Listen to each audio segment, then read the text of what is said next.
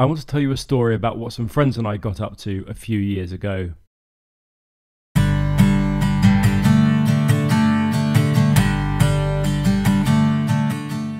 You've let yourself in for tales of sled dogs with a dislike for running, months of polar darkness, unhelpful teammates, a skiing Danish man without skis, and by far and away the most special time I've spent in the Arctic, having had thousands of days on expeditionary journeys to choose from.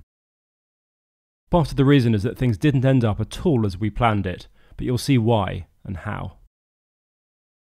I think the best place to start is as we touch down in Greenland, and with the assumption that you're all bona fide experts on the rough geography of the Arctic, and Greenland in particular. My team of four were headed right up to the far north, but had to catch a series of flights in aeroplanes of decreasing size up the coast.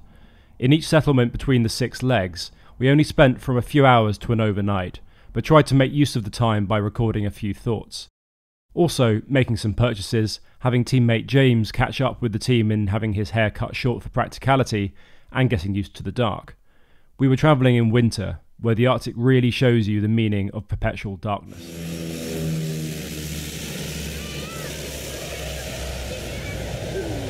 Our staging post for a journey onto the Arctic Ocean was the Greenlandic Inuit settlement of Qaanaaq, it's the largest in the far north and home to a little over 500 people.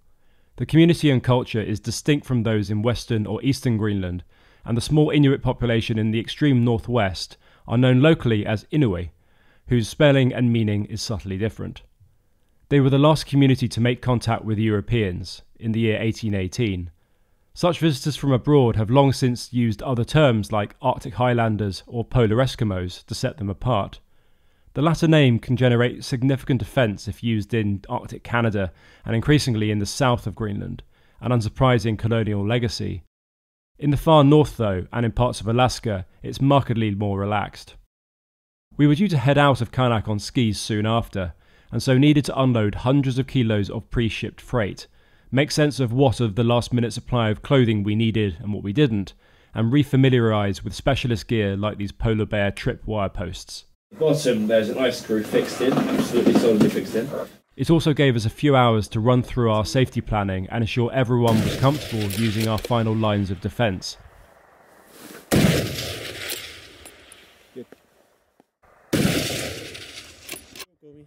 Anders also kept himself busy educating us in Danish about stretching samples of frozen material that he promised to test for a sponsor. This was to be our main mode of travel, boots or skis directly on the ice, and all supplies hauled in a sledge, as has been my preference since starting out in polar travel. It's perhaps the purest and most adaptable, albeit the slowest, way of getting around in the cold.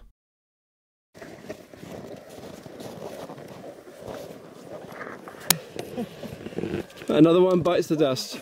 Sorry, I am filming. it wasn't to be just us four, though our living, breathing, and barking warning system to make us aware of approaching polar bears en route was to be Dave. I'd bought him from a local hunter the year before, intentionally as a lazy but amiable dog.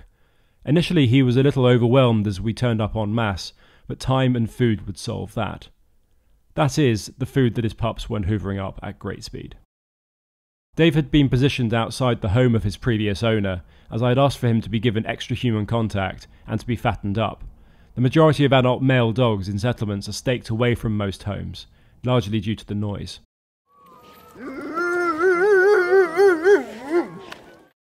In the dark, of course, everything that the Arctic makes difficult gets yet trickier, and if you ask me, more rewarding. But our multi month journey wasn't to be.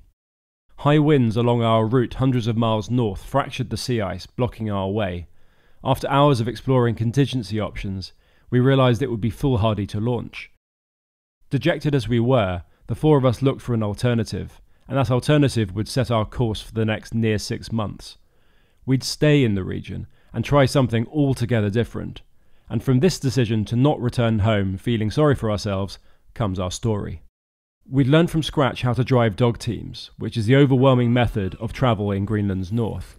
These years later, I did ask James and Anders how they felt about this enormous change of plan, and I think it's fair to say that James was least keen on the change to dog sleds at the time. Uh, not that I felt kind of, you know, uh, railroaded or anything in that sense, but that, that wasn't what we were going to be ending up doing. Um, and then there was the the recommittal, the refocus. So the transition from ski journey to sled dog was really, really easy for me. What we'd do once at least half competent was anyone's guess. Who knows if we'd even be welcome to stay, let alone buy 20 dogs, which is how many we'd estimate would be enough for two teams. Having put word out, though, we soon found ourselves in charge of 20 hungry mouths to feed. They weren't what you'd call docile or quiet, and we didn't know if they were any good. I'm very sniffly at the moment. Um, should I do the thing with the harness? Uh, yeah, I think we should do that after Jason though. okay, sure. I'm trying to keep uh, Leon nice and calm. Before really setting to work, though, we needed to get some sledge hauling out of our systems. So we hauled out into the darkness with a dog each for company and protection. Hello, Odin. Morning, James. Morning. Morning, Anders. Good morning. It was about 40 miles to a tiny village called Qeqertat, home to barely two dozen people, taking us two days on the way there and one long slog on the way back. How's it going, James? Well, it looks a bit like Scotland. and It's nothing like Scotland. it's midday, so we're having a little snack. Kind but puzzled locals let us sleep and rest in their communal building.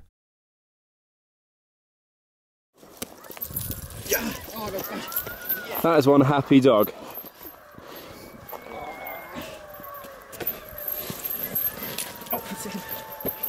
I won't lie, aside from having some broad experiences with dogs in the past and my own canine behaviour studies from university, we didn't have a clue what we were doing, and it showed. You can't just turn up at the local dog driving school, so we just got on with it and learned everything from basic handling, mostly the hard way. What we're doing? Uh, we're starting off uh, with dogs attached to sledges for the first time, and these are our three chosen uh, lucky dogs. Uh, it's Odin, uh, BS, and uh, Pollock Dog, who has yet to have a name.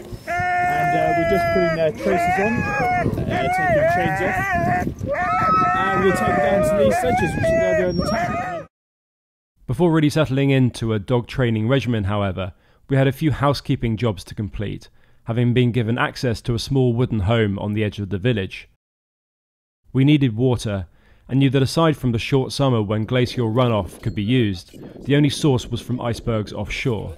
We hadn't yet worked out how to ask for the centrally collected and melted ice yet, something of a community public service, so headed out to hack some chunks off. Having enjoyed thwacking a large lump of ice with an unhelpfully small axe, we returned with sufficient iceberg ice to manage a few cups of hot tea. It turned out that we had some other canine visitors from around the village. It's fairly normal for females with pups to roam around loose, and pups themselves have free rein until about six months of age. We had our own dogs now, but before we could even think about going anywhere, we obviously needed sleds for them to run in front of. This was not straightforward. You don't merely go to a shop and choose the correct model of sled, you make your own. If you know how. And despite being very hands on and practical, the team and I did not. So we enlisted the help of Erasmus, who I knew from selling me Dave the year before, and a couple of his friends. Language was a challenge. We didn't speak Inuktun, the token name given to the local dialect, even though I've never heard locals use the word.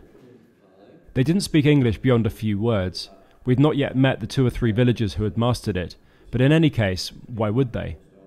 Danish was a passable bridging language, but even that wasn't an easy solution, as not all locals spoke it, and on our side, only Anders was fluent. You're going to notice that in this film, footage of the local people is fleeting at times.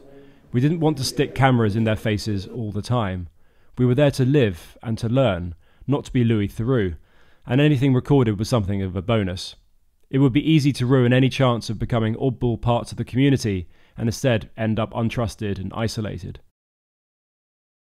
Pointing and watching went a long way, and before long we were not making a complete hash of it. Design, angles, and special knots had to be spot on. you do not just nail together planks in roughly the right shape. The lashing takes almost all the load and means the sled can flex under impact.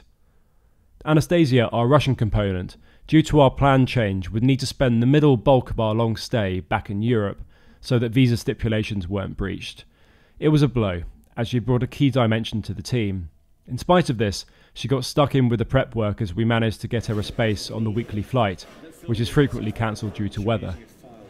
Some precious power tools sped things up a great deal, before a minor diplomatic incident led to a period of more traditional methods. Soon, though, powered back up we were. The finishing touches soon began to take shape, like splicing the main hauling rope and fixing in the final crossbeams. I also applied lots of oil to the wood, which helps it stop splitting in the incredibly dry Arctic air. Anyway, we had two enormous sleds, and dogs that at least in theory might pull them along. Short walks up and down the beach to fetch meat and fish offered up a few tips, but it soon dawned on the four of us that the learning curve would be steep. If we messed up, both dogs and we could end up injured or worse. We had no hunting credentials on our own, so we're relieved to find that excess catches from the experts, the ones that had made the sparsely populated corner of the Arctic famous, were on sale to lesser mortals like us. At first, the dogs were based on a steep hill that led directly from the frozen beach. This was fine as it meant a short walk each day down from our abode to check on what chaos they'd caused, to feed them, and to do basic care for their paws and so on. However, it was just far enough away to not completely deafen our neighbours. People did keep a few dogs in the middle of the village, and I'm not sure how many neighbourly disputes this causes. Around our home, we only staked out Dave, Yeah, but he's the best looking dog. Leica, our female, and Phoenix, a skinny dog that needed more intense feeding. Even in the early, darkest days when we only dared to take out half a team, or one full team between us all, everything was a faff. None of our hundreds of days of Arctic time counted for much, and each new skill needed learning, messing up, and then learning again properly. One positive was that the dogs, having begun to associate our arrival in our silly yellow jackets with either food, exercise, or a little affection, did seem to like following us around. Dave was an exception, of course, on the exercise front. We'd bought him for his laziness qualities, and so were stuck with the old softy. Dave also had formed alliances amongst his team in his commitment to not doing anything, but more about them in a moment. Right now we are trying to get the dogs to run in a straight line without us running in front. And uh, we just had a little bit of success, a couple of minutes of a straight run. Uh, but then a little fight uh, started, so we're trying again and see if we can go uh, forward without uh, us running in front. Getting across the jumbled up tidal sea ice that lined the edge of the beach was becoming a slight hassle. Even with shipping pallets used to weigh down the sleds and thereby slowing them down to a manageable pace, we were getting rather tired of the daily spine jarring rubble ice crossings. The plan was to later bring all the dogs and a crate for meat and fish down onto the sea ice itself and set up an HQ of sorts. Making and improving our custom chain and rope staking system kept us busy in the evenings, as did repairing harnesses that Dave kept on insisting on chewing through.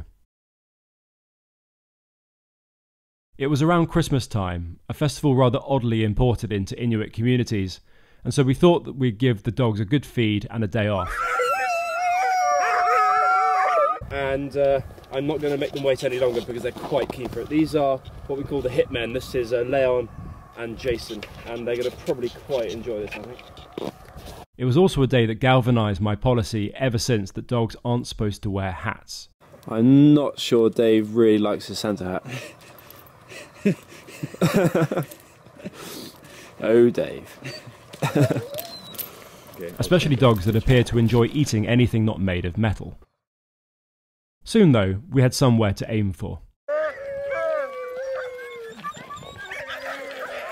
Fishing is a key occupation year round, and the continuous darkness isn't allowed to impact on it. Techniques, of course, differ from winter to summer, as dog teams have been shown to perform poorly on open water. The community does have an annual resupply of tinned and packeted goods, sold at a shop, but local meat and fish sustain the community and their dogs. Uh, we're about to see uh, Michael, who uh, who is out fishing. So we went out a couple of kilometers uh, east of the village, um, out to all the fishing huts where all the locals fish uh, halibut. We found Michael, who you saw maintaining his sled in the workshop earlier, about a mile offshore, in a wooden hut that could be pulled along by dogs. He shared it with another hunter. Once a few dozen baited hooks were dropped on a long weighted line under the ice into the current, into the heated hut we went. We'd cause more chaos than offer assistance by interfering in his fishing setup, but we watched carefully as the tips and tricks were too many to count. It wasn't a stellar catch, but remarkable to a novice nonetheless.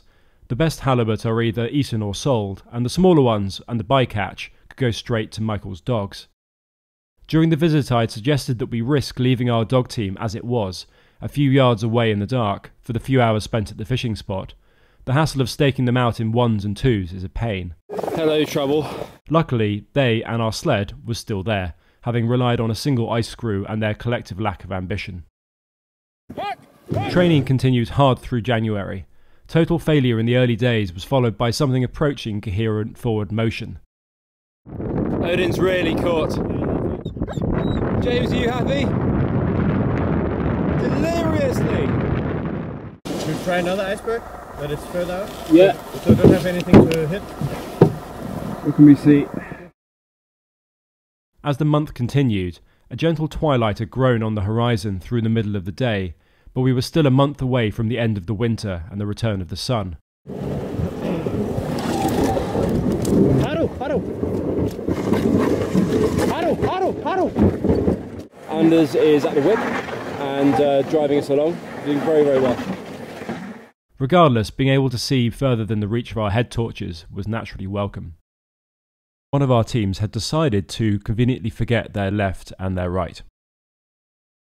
In hindsight, it seems something approaching uncalled for, as icebergs had never really been anything of a menace for us, let alone a nemesis in need of retribution. But this one was about the right distance away, so it was perfect for target practice. So, Alex, what are you aiming at? I'm aiming for the little bit on top of the iceberg. Okay. Sounds great.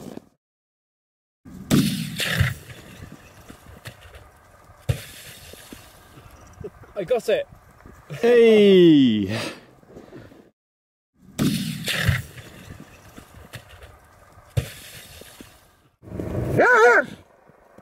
Yep.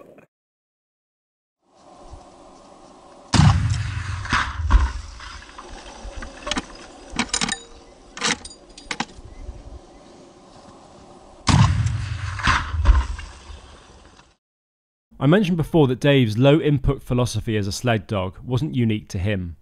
McMuffin, probably four or five years old and with a fine coat of fur, was convinced that running with the team wasn't for him. He tried to communicate this to us for some time. I understand it might seem like tough love on our part, but he needed to get over this mental block, or else no one would take him on after we left. I wondered about whether his paws were balling up with ice or were otherwise sore, but it turned out to be a dislike for our alpha dog named Thor. Put him on here. Come, come on, McMuffin. You need to keep going. Maybe he's hurt. He took a little bit of a, uh, a cut on one of his legs with a fight with Thor earlier. That's Thor there, just coming into focus. But uh, yeah, so his cuts seem okay, so we're carrying on. He does need to keep going forwards though. Come on, McMuffin, you can do it. Off you go. And he's well, he- he's running at least. He's not quite. Thor never really went for him as far as we could see, but Muffin adopted a firm identity of victimhood, unless Thor was on the far opposite side of the team. No need for that, McMuffin. McMuffin, stop being such a big grump. Grump, grump, grump, grump, grump. Rawr. Thor has been uh, bullying uh, the puppy a little bit, so I'm just comforting him. He's a little bit sad. Oh yeah, yeah, gosh, yeah, oh, so, so, so. Yeah, no bullying. We don't accept that on the team. So no tolerance. Ah, yeah. It's like Scotland, isn't it, James? It does look a lot like Scotland. No, so we're going to Siorapaluk. Our first multi day journey was still fully in the darkest of winter and took us up to the most northerly village in the world, Siorapaluk. It was there our fears of being kept at arm's length at the smaller communities were dispelled for good. A hunter whose Danish name, it's normal to have a local name and a Danish name, was Peter, had befriended us in Qaanaaq, and his warmth and generosity meant we grew close to him and his family. We spent hours with various villagers through our training days, some merely curious, and others like Peter explicitly keen to help us immerse. Surprised, we found Peter in Siorapaluk too, and the next day he invited us to travel with him. We each spent some time with him on his sled and pulled along by a young dog team he had been training up. His ease, dog control, and sheer pace, compared to our attempts to keep up, kept any delusions of grandeur regarding our improvement firmly in check. Luckily, there were rest stops, and we met another dog team on the ice. Ouch, ouch, ouch, ouch, ouch. The video. It's not actually a picture, but um, yeah, we're on film at the moment. No opportunity for a social gathering is wasted in this otherwise severe part of the world. Oh, this, this.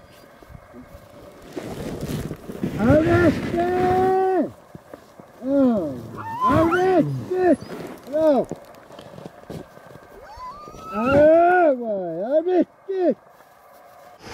So we're now on our way back from Siorapaluk. Um, we managed to get there in the end uh, yesterday. Got there about half ten. We're greeted by uh, one of the Peters from Qaanaaq, uh, who gave us one of our best dogs. And we're currently following him. He's somewhere in the distance, uh, back to Qaanaaq. Um, He's driving a racing sled. he is driving a racing sled. Anders is currently trying to slow him down um, by being very heavy and getting him his fat self off our sled. Um, but it's not really working. Um. I think the hare's going to win instead of the tortoise. yes. um, Once back in our adopted home, the move to getting the dogs, our sleds, and supplies down to our designated headquarters didn't come a moment too soon, as I was getting bored of this. James, we said no bumping about.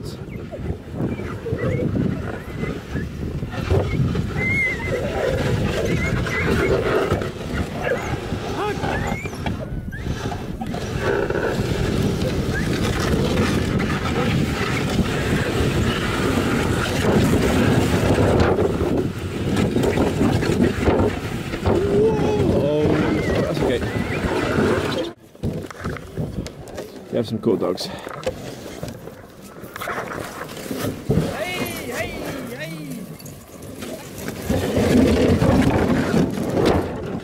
you know, you sort of whip from side to side, and the dogs are in a little line behind you, um, like you're crossing the road with a you know group of unruly kids, and um, and they really want to get past you, but you've got to kind of maintain this calm and make it clear to them that they're definitely not going to get past you.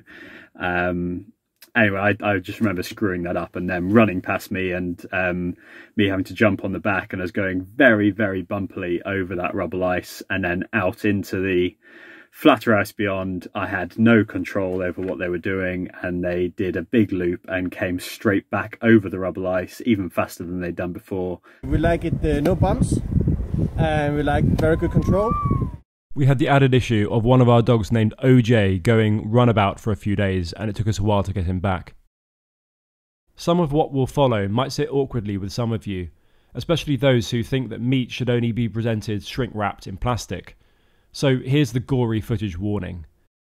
And for me, someone who takes no pleasure in nature's redness in tooth and claw, it took some getting used to. But our dogs needed at least a kilo of food each per day. Sometimes we needed to supplement with Arctic grade working dog dry food, but fish and meat formed the bulk. Separating skin, fat, meat, and innards took time, especially when the carcass was only part thawed. At least we had a lino area we could bleach and disinfect afterwards. We didn't have a butchery hook, usually in a cool but inside area of people's homes. Peter showed us at breakneck speed how it was done. The real skill is to ensure that you separate out the furry skin, which is very good for the dog's teeth, away from the fat and then the meat, and then obviously the idders drop out into a bucket below. Jeg venter på måske 5 minutter. Ja. Ja. Is it something I take an overt pleasure in? No, but it needs to happen in this part of the world. In the Arctic, frankly, either you get used to this or you have to leave. It's simply the way that it works there. Feed the dogs. And look at our buckets of goodies, all bloody and uh, smelly, just the way they like it. Zero wastage and able to ensure all the dogs get a bit of everything. Some nicer cuts of meat are kept for humans too.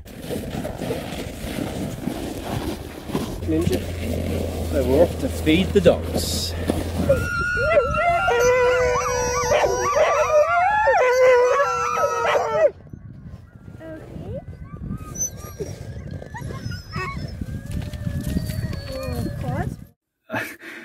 to do- dogs really, really, really wanting to go right for hours on end, and you know just having to sh- sh- shout, you know, left, left, left, left, left in Greenlandic for hours. Some days were an awful lot better than others, and it just depended what sort of moods the dogs were in.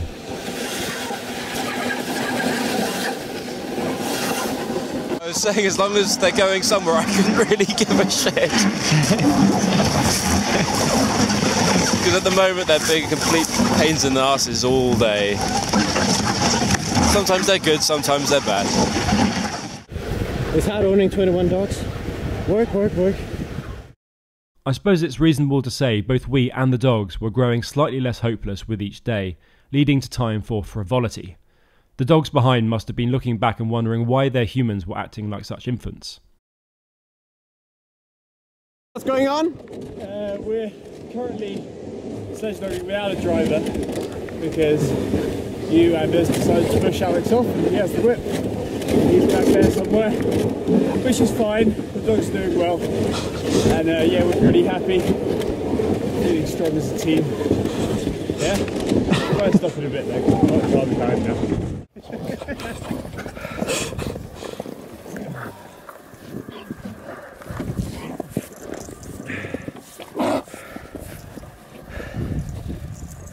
Happy days. So uh, I'm I'm just summoning my feelings of remorse. Um, I'm waiting. Before the sun returned, we looked on with some envy at a sledding race between hunters. There's normally a winter race and a summer race. I can only imagine we weren't invited to this first race because it would be ungallant for our dogs to win by too great a margin. Being hundreds and not thousands of miles from the North Pole, the sun is absent from October until the end of February. Of course, its return changes everything for the people. The light doesn't shine directly on the village until a day or so later, thanks to the mountains on the horizon blocking its path. The next day, though, we enjoyed just 20 minutes of the sun's rays before the orb dipped away once more. I'm not going to try and compete with the levels of noise here, but this is just to give you an idea of what it was like being down at our dog HQ at getting ready time.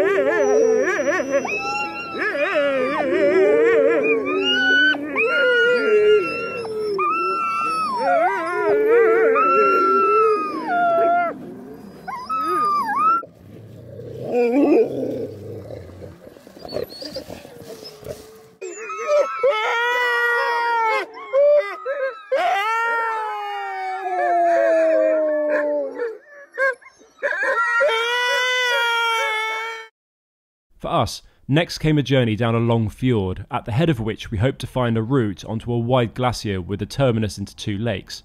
They were excellent for freshwater fishing in the summer, we'd been told. After a slight initial breeze, it settled down. The region of the Arctic is well known for having calm weather, and is good reason as to why it's the only small corner of the north with a lasting native population. Both teams had settled down after a few tweaks into a stable lineup, after swapping a couple of dogs with neighbours. Our foray up the fjord saw some of the best early spring light, but also our coldest temperatures. The maritime weather means you rarely get below minus 40, but we had a few days down into the low minus 30s. There were a cluster of abandoned huts along the way, so we used them for shelter on one of our evenings. And we just been up one of the fjords around the half island Thule is staying on uh, to find a route up onto the ice cap, but that wasn't possible. It was just a lot of rocks. Uh, and The ability of the dogs to bed down and get rest was remarkable, whether after a long day and a feed, or just grabbing five minutes as their humans discussed the next stage in the plan. In the end, we couldn't find a route through, but decided to try again for another glacier later on in the spring. So right now, Alex is skiing in front, and me and James are on each uh, sled, and we're trying to catch up with Alex, who took off uh, quite a while before us. And I'm really enjoying this, so I'm having uh, my pie and just relaxing and enjoying the beautiful view.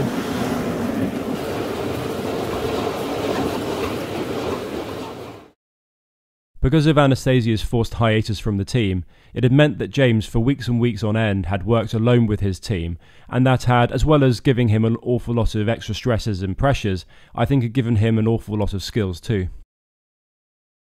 I think that moment is so much sweeter for all of the frustrations that we went through beforehand and all of the it not quite working or it being very, very hard work. Meanwhile, the dogs had really found their groove, and it was a little bit like just cruising down the motorway. Well, what a nice day, eh? Hopefully, this will be a, a quicker return than it was on the way out. Um, it took us far, far too long to get out. The dogs were being, well, they were in an interesting mood, and uh, now they're in. Uh, well, they seem to be in a running mood, which is which is fantastic, and um, yeah, so we're, we're plodding on our way back. Um, Anders is going for a run at the moment, having a lovely time. Back at our home, we'd come across a small pup, abandoned as far as we were aware. She was curled up next to Dave for warmth. It was a lucky choice, as other dogs may not have been so hospitable. So it looks like we have 21 dogs now. And milk's going all the way down my front. We brought her inside and tried to get her to feed. After limited success, she made a mess, so James was volunteered to sort that out. She's doing very well. Um, we probably shouldn't have called her Goliath, should we? Yeah. But she's pretty massive. she's doing very well. She's slightly reluctant. But, uh, she's doing Well, she's probably never had a bath before. And she'll probably never have one again. She doesn't seem too anti. Uh, apart from the sort of enthusiastic climbing out of as well. Yeah. Uh, To our relief, and without anything approaching a plan of what to do with this pup that we named Goliath, a friend named Navarana managed to connect us with someone missing a pup. I'm not sure that's how they carry their young. Goliath's mother had her village roaming privileges revoked for a reason that we couldn't work out, and when Goliath went wandering off, the mother couldn't retrieve her. So today is a slightly uh, windier one, a little bit colder. Um, we're down at about minus 25 degrees with a good sort of 15 uh, mile an hour wind with a little bit of gusting. But uh, it's quite nice, and uh, we can see an awfully long way over to Herbert Island behind me. And uh, we're doing our standard uh, interval training today with our dogs. We're getting them to chase after Anders today, who's on skis. Meanwhile, we were still out on the ice each day, building up strength in the teams for some more village visits and attempts at longer journeys, perhaps onto glacial ice. Aye! Aye! By and large, the dogs were getting on well. They'd settled into a hierarchy, and each team had a lead dog that listened better than the rest and ran out front on a longer rope. Also, a king dog, or alpha, that kept discipline and dissuaded fidgeting or laziness. If you're wondering about the lines that we're running round the midriffs of our dogs, it's to stop them wriggling backwards out of their harnesses, and that can actually save their lives if they are near a crevasse or near thin ice. Fidgeting caused the ropes to tangle, and detangling dog mess strewn knots was a job coveted by none. On Anders and my team, our lead dog Enrique and king dog Thor both felt their own styles of leadership reign supreme. Dave and the others couldn't care less. Anyhow, this was perhaps inevitable.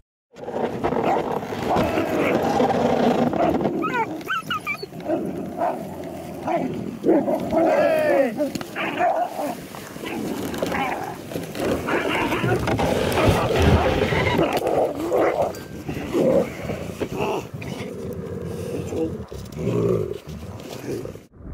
hello, Thor. He's a big bully, but he's quite cute sometimes. No harm was done, but it was a good thing that Enrique ran slightly ahead and not in the team itself. we love the dogs, really.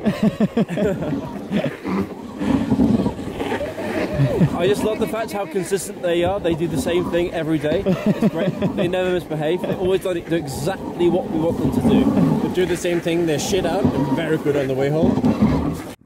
Aye. Hey.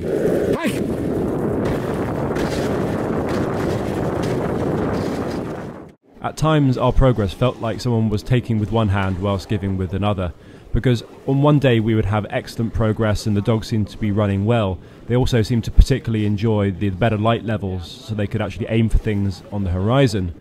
But then also, all you needed is one or two dogs to either have a disagreement or to simply decide they weren't going to be doing a lot of work that day, and all of the work ethic fell apart.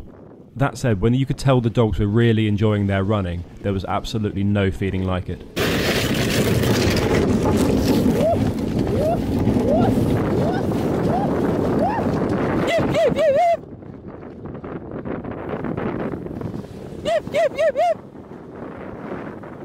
They're all running nicely on snow free ice and they've got that thing in the distance that they're aiming for, so you don't really need to say anything. Uh, they're clearly really happy. Um, you don't need to worry about it. And I have very clear memories of that happening a few times. I guess that's us uh, leaving James behind. Anastasia was back, so James, who had done a stellar job running his team solo for so long, had some assistance. We decided to set off once more for Qeqertat, the tiny whale hunting settlement we'd walked to back in the midwinter. This time everything would be different. The sun was up for much of the day. Our dogs were unrecognisable in comparison to those early, unsure days. We were only having to stop and rest the dogs and detangle the ropes every four or five hours. Initially, it felt like every half an hour. Instead of making a beeline straight across the sound, we decided to hug the cliffs instead. Of course, with all the work that the dogs put in, it was important for them to stay hydrated, and so it was our job to make sure that we could find some fresh snow for them. Sometimes the salt from the sea ice below can leach into the snow itself, and so it's important to test to make sure that there's no salt in the snow. When the dogs have a trail to follow, life is good. They love it, and they know where to go. They smell the dogs that last round the route, and they had plenty to stimulate them. But if we went through virgin snow, our pace could drop right down, and so their humans would need to either run and push from behind or ski ahead to offer a target to aim for. I loved this role. A few hours of quiet, reduced odour from the usual position astern of ten dogs' rear ends, and the joy of seeing a team of affectionate dogs bearing down on you. We passed landmarks that were invisible through the winter, including headlands and islands named for some of the earliest and most infamously exploitative polar explorers. Crazy.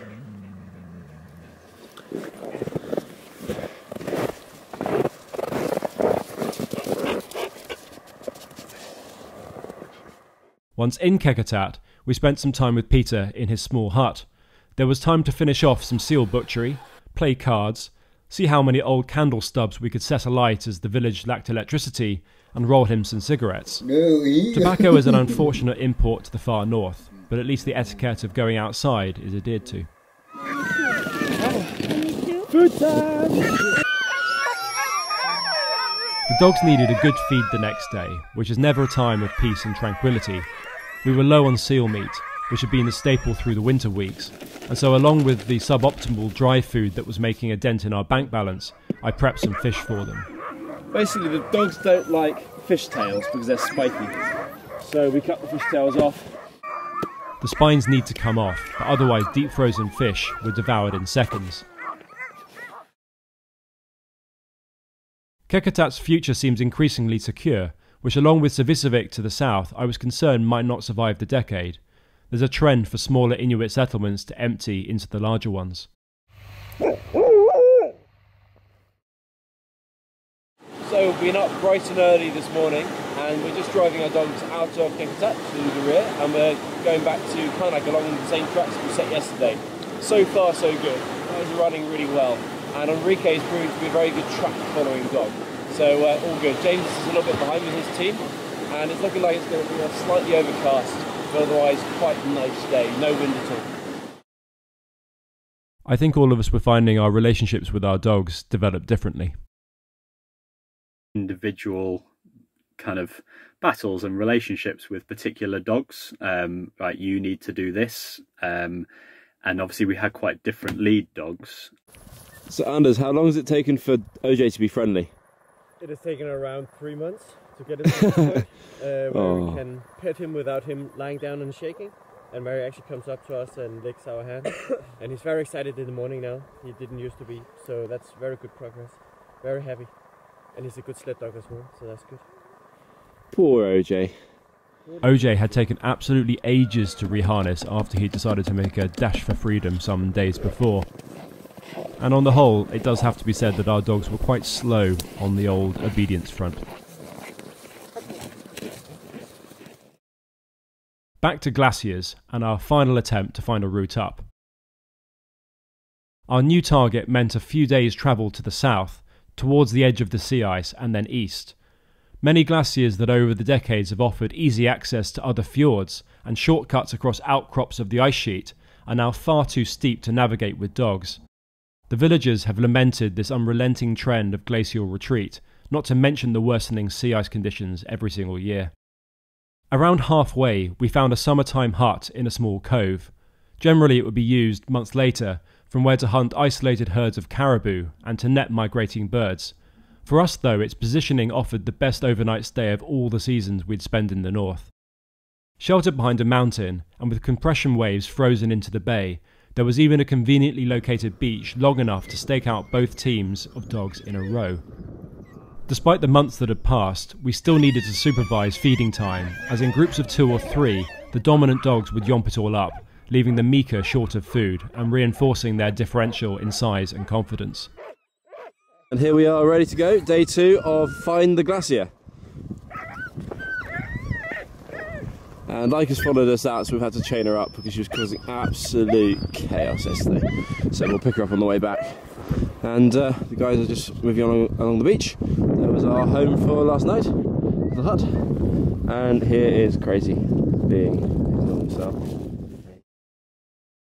It was the final day's approach that provided some drama. I'm afraid there wasn't much in the way of footage, as we had more pressing matters to attend to. Anastasia and James, and their team, happened upon some thin ice which had been masked by a little snow. The telltale greyness of dangerous ice wasn't visible. Amazingly, both promptly got out of the water and managed to ensure none of the dogs were lost to the currents under the ice. All dogs, slightly salty and miffed, accounted for, and no injuries. Aside from a cold toe, James and Anastasia were okay too. Anastasia held the sledge back while I went forward, so got off the sledge and went to the dogs and tried to get them all to come out on the same side of the hole that they created um, so that they could then run back again. Now, when I got off the sledge and went sideways, I also went through, but thankfully only up to sort of, um, you know, shoulders. So my hands came out and stopped my shoulders and head from going in. And I was able to sort of seal out of the water again very quickly. And thankfully the ice was, you know, it must have been a perfect thickness that I could go through, but with a little bit of spreading myself out and sealing myself out of the ice, it, it wasn't breaking instantaneously when I was getting out. Uh, and looking back, that's very lucky. So yeah, I mean, I think a combination of having that really key thought of do we go forwards or backwards? That decision was made very, very quickly between us. Right, as they just stopped the sledge from going backwards, we, you know, decided that together. I went and tried to get the dogs forwards, um, and then there was the the thing that I didn't mention was the potential for the dogs not getting out of the water. And if the dogs hadn't gotten out of the water and the sledge had continued to sink in that little moment, there was the ah, is the sledge going to float? Is it going to pull the dogs down because they're very securely attached to the sledge? Um, so we've only got a very limited window here to get the dogs out before the sledge is going to start pulling them down. We made the final approach to the glacier across low undulating land, which in the summer would be a complex network of little freshwater melt streams.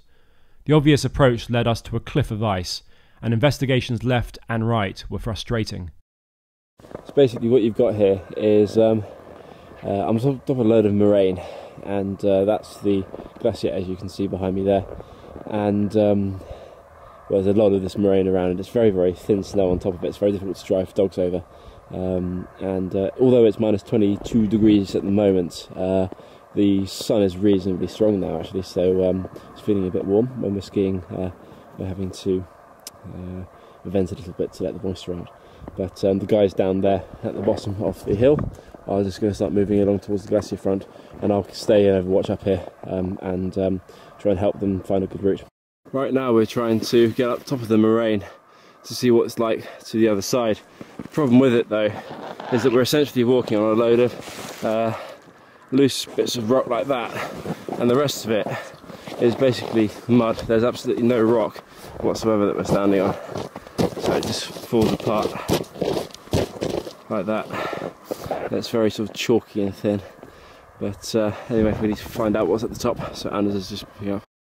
It does look very good. There's a big gorge in between the glacier and the moraine, and also uh, I'm several hundred feet higher higher up than the rest of the guys with the sleds, so it just looks looks a bit depressing to be honest. But we'll carry on. Eventually, after lots of investigation, dead ends, and clambering, we got up over the moraine stack and got ourselves up. The glacier was more or less crevasse free, but we played it safe initially. Time wasn't on our side though, and the victory tour lasted only a few hours before we began our return back via a similar route back to Qaanaaq, and what we knew would be our final few weeks in the far north. Qaanaaq had a springtime games day for the whole community, and seemingly everyone piled out onto the sea ice. Aside from familiar faces, we also came across a side of the community that were perhaps a little more shy, but nonetheless friendly. All locally sourced and hand stitched together. Some of the kids admittedly lacked an adequate level of respect for their elders, or specifically us, but we got our revenge by directing them away from the prizes during a blindfold game for the younger local children.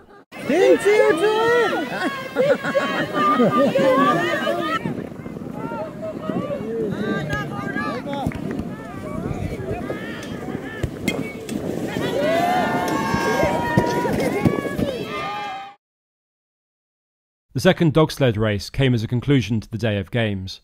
Confoundingly, yet again, it wasn't considered appropriate that we compete with our 10 dogs and large transit sleds, compared to those veteran experts racing with little 2 metre sleds and a team of the cream of the crop Thule dogs. Anyhow, we avoided a local upset once more and let the son of one of our friends win. Their style of celebration takes some beating.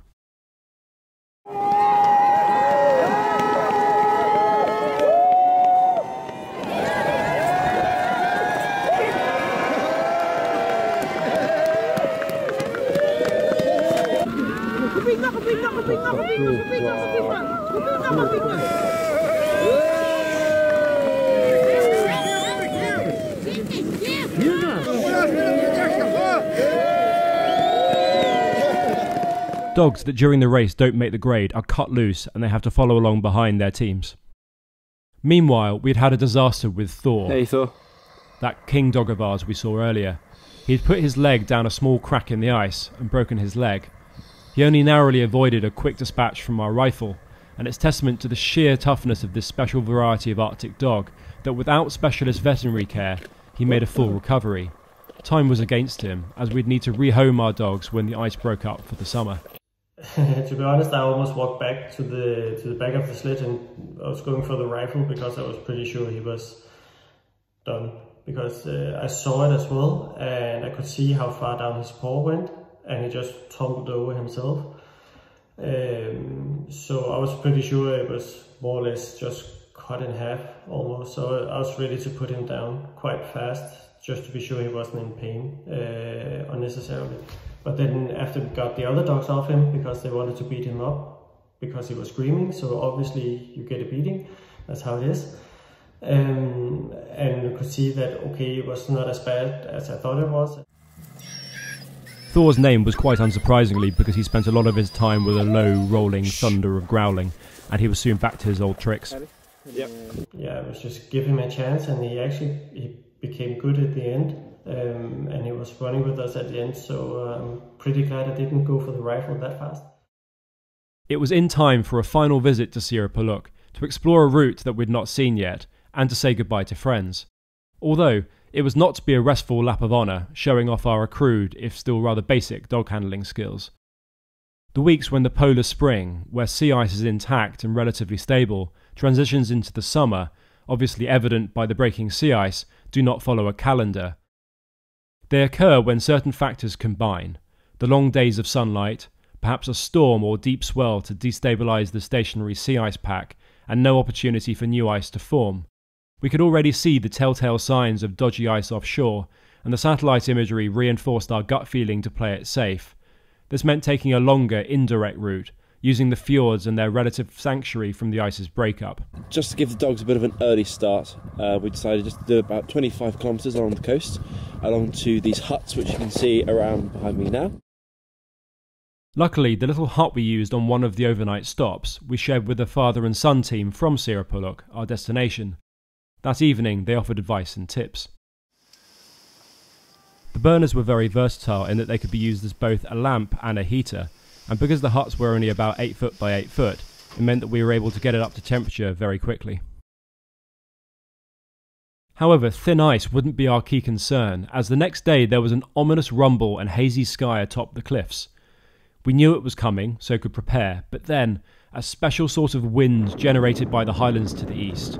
Powerful and sudden, it weirdly manifests with blue skies and a slight raising of temperature. This one blew for around a day and a half, so we couldn't get to the settlement in time.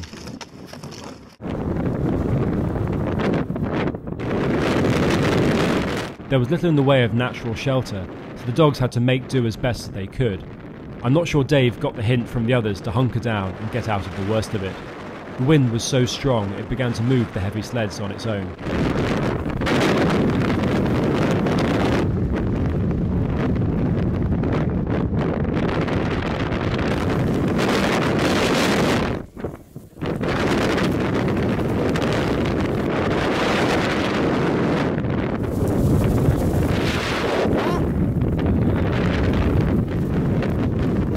Surely enough, though, skirting around the final headland and then picking a spot to cross the water that still held enough ice, we managed the final push. Understandably, short of kindly being found somewhere for us to shelter, there wasn't the bustling social gathering we had enjoyed last time in Siorapaluk. I think we all dreaded the return leg somewhat, not because we feared what state the ice would be in now some days on and after the wind, but mostly because it signalled the end. I mentioned earlier how keeping the dogs hydrated was super important. In fact, dog teams in the past have actually been lost through dehydration if not enough fresh snow can be found. So, after this big storm, all of the snow had been moved around, and it meant that when we found this large bank of very fresh powder, we let the dogs have a really good eat for a few minutes. We wouldn't manage another multi day journey with our teams, and so this was the beginning of our goodbye to our dogs. To my relief, we generated significant interest in Qaanaaq for people wanting to take them on, so what we've got here is um, behind us a whole load of brand new ice, and that was after all the ice broke up a few days ago, and it's just starting to reform. It's really, really thin, so we can't go over that at all. So what we're doing here, we're just stopping and going to go and climb up onto the ice foot, which is attached to the land, and see if that gives us any more joy. In the distance behind me, you can see uh, Siorapaluk, I suspect, long, long way away now, and uh, we're hopefully going to zoom along round this headland and into the next fjord. Jokes about us standing on the sleds too much in our early days, instead of the local technique of slouching on the front, and of being rather soft with our dogs, hadn't run deep. The four of us could be rightly proud that there was competition to buy our animals. To be honest, I don't know what we'd have done if it was privately believed that we had somehow ruined them,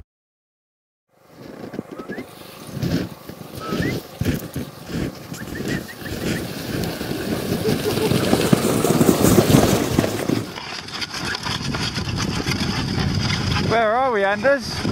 We are almost home! Woo! And the dogs are running really well now when we're home. It's perfect. Go dogs! From what I've heard from uh, whoever I spoke to about us, uh, they said they were really happy that we actually tried to learn it their way from them. And we could see it when we going when we sold our dogs when we were going home. They were sold within a couple of days because people really wanted the dogs. They have seen how we have uh, how well they have performed when we're going out on the tours on the ice. Um, and and I think that's one of the biggest compliments you can get that somebody actually wants to buy your dogs. Of course, saying goodbye to our dogs was an enormous wrench because they had become an intrinsic part of our lives. Uh, we had relied on them as much as they had relied on us. And as for Dave, I made sure that he went back to Rasmus, who, who bred him in the first place, and I have on good authority that would always look after him in the way that uh, Dave deserves. I'm afraid we, we didn't really add a great deal to Dave. He ended up still being as, as lazy as we found him, but uh, he was a wonderful, wonderful part of our crew. Come on, Dave. And so, a few dogless days followed before we faced the return series of flights back south. Hey. We did get a ride out to another of Michael's fishing spots, this time, of course, not having to take place in the pitch black. He had been a kind friend to us, always keen to share new skills and even a spare catch if he had a good day's fishing. I think he also enjoyed showing off his English phrases. It looks like a balloon. Thank you, Michael. Yeah. I'll take that as a compliment. You're welcome. You cannot use money to uh, buy the bait. Oh, you, you, you give them fish? Yeah. You have an account. Yeah. Yeah, I think, 30, I think 34 fish we will have on this line. It's only been down like less than three hours, so I'm probably going to be wrong. But we need to let James win something. yeah, no, bid was 25, and um, yeah, we're going to get 25. I ordered it, so it will be there.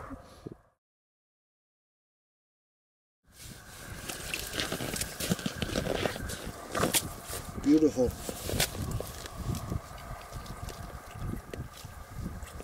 Oh, You get the bait? it's a beautiful fish. Mm.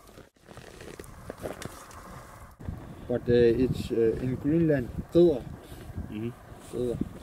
Does that mean ugly fish? yeah. Our time in the north had been nothing whatsoever like the one we'd planned, but we resisted the urge to just return home, back in those dark early days of winter.